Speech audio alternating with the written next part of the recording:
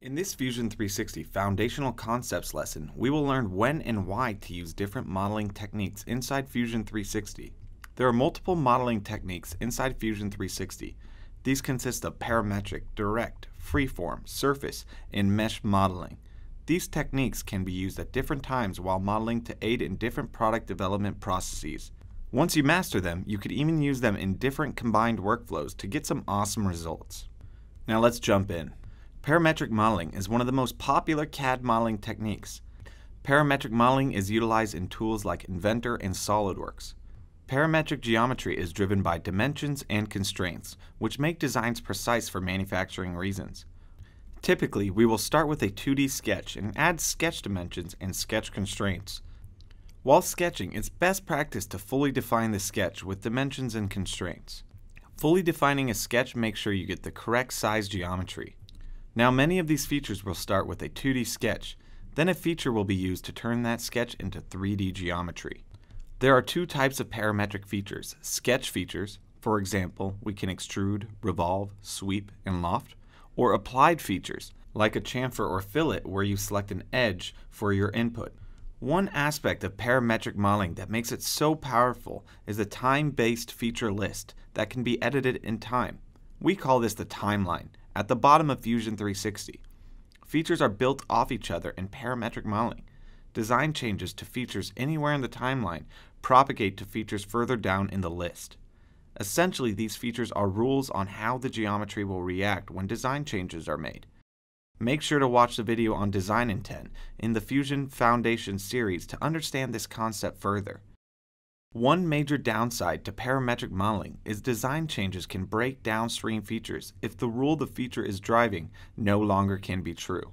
For example, when this hole is moved, it breaks the fillet feature which references the edge.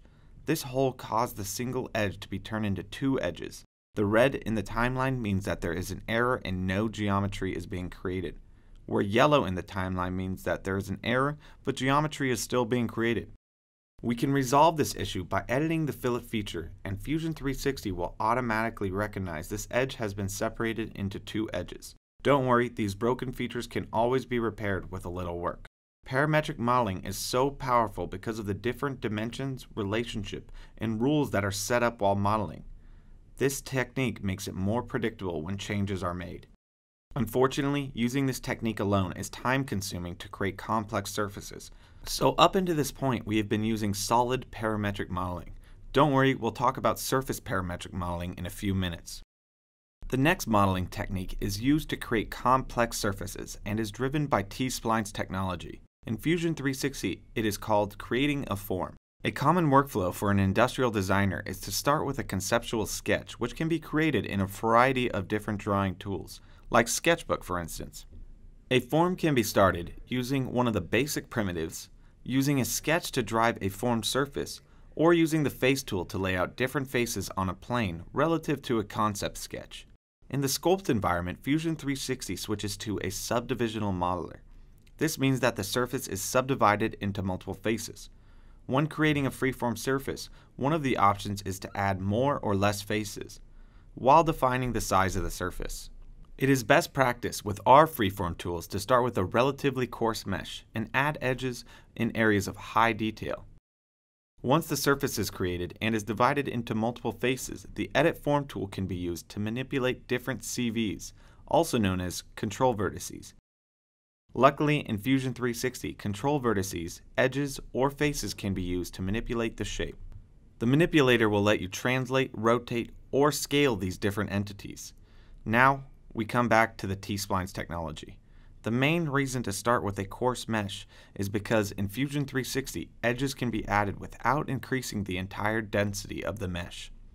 Increasing the mesh makes the surface harder to control and slows down your performance.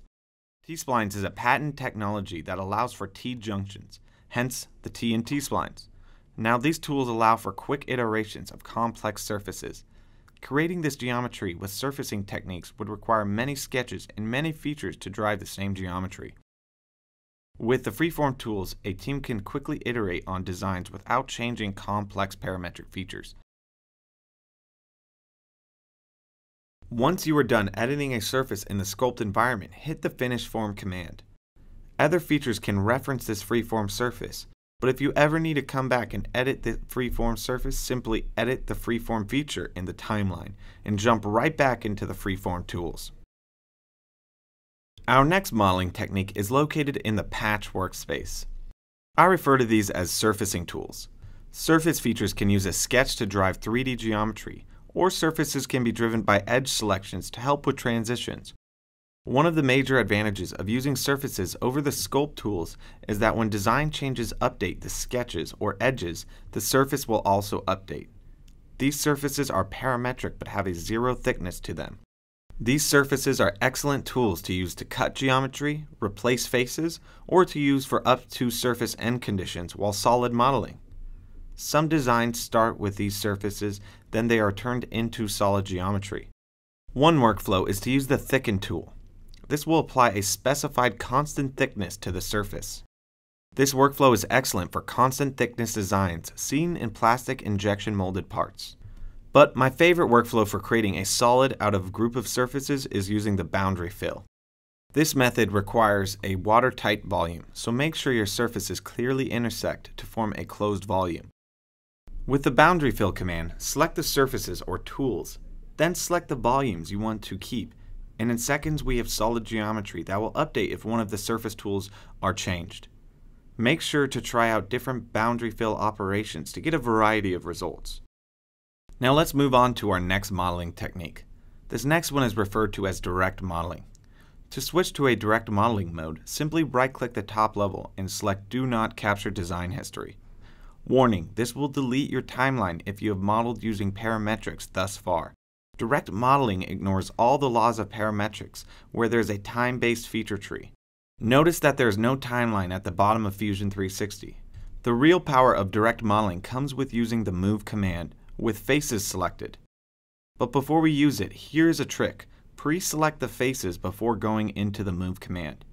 Here we can translate and rotate the selected faces to get the desired output. The direct editing technique is great for making last minute changes to a design or for defeaturing geometry for different post processes like simulation.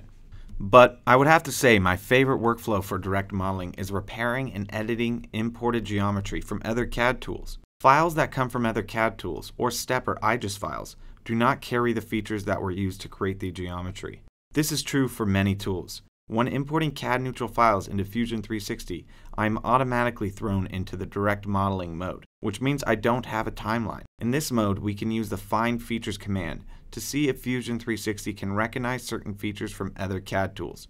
This function works well for holes, fillets, and simple extrudes. Now, I see we have a strange blend created from a different CAD tool. I can simply select the faces belonging to the blend and hit the delete key. Then I can move the face back and reapply a better fillet to fix the blend. In other CAD tools, changes like these would require either rebuilding the model or the use of bad modeling practices.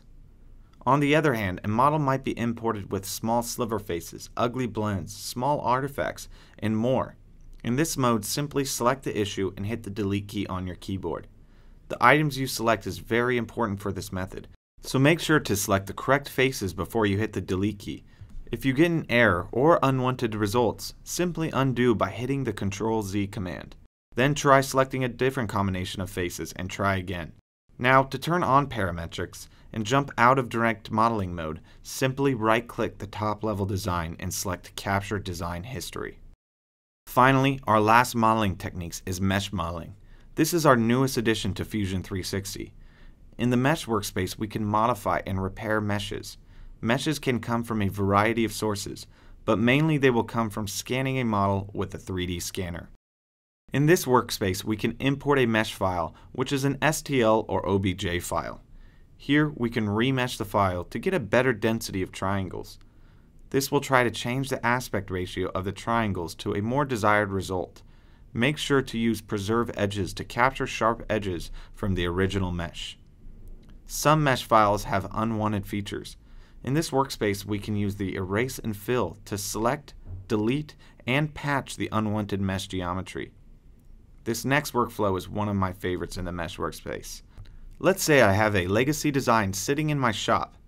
I can scan that legacy part and import it into Fusion 360.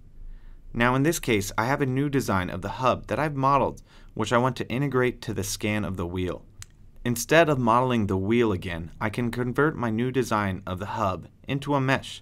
Then I can merge the two bodies of the hub and the wheel. Next, I could send this to my 3D printer to get a prototype of this design quickly. So that was an introduction to the different modeling techniques in Fusion 360. I urge you to try and use these in combination in different workflows. Make sure to check out other learning sections for deep dives into each of these modeling techniques you will find that there are benefits to using one modeling technique over another. Make sure to share in the forums if you find a new workflow that really speeds up your design process.